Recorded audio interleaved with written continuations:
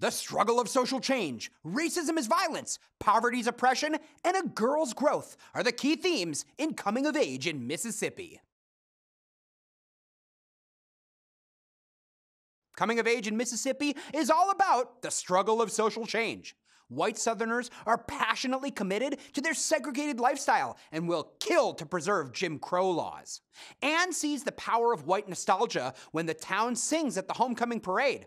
After the Woolworths sit in, she sees the resistance to change as a sickness for which there may be no cure. The movement doesn't just want to get new laws passed, they want to radically restructure an entire society from the ground up. But black Southerners can be resistant to change.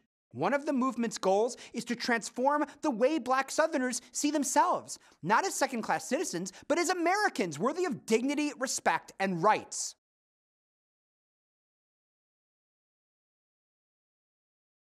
Racism as violence is a theme that speaks to assaults, shootings, burnings, even bombings. The terror killings of black Southerners meant to maintain Jim Crow.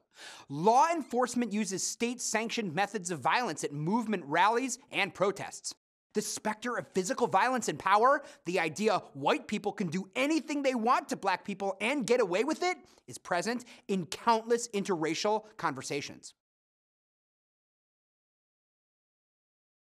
Poverty's oppression is represented by the federal government's deliberate creation of a situation where discrimination and poverty can flourish.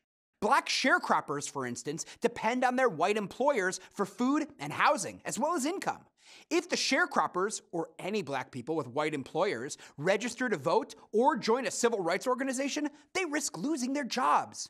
When children are forced to live in poverty, Anne discovers, it's harder for them to develop critical thinking skills and for their talent to flourish.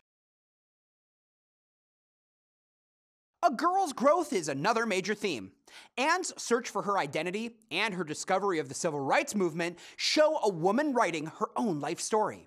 Anne's story includes many experiences common to coming of age narratives. She embarks on a quest to secure civil rights and freedom for African Americans.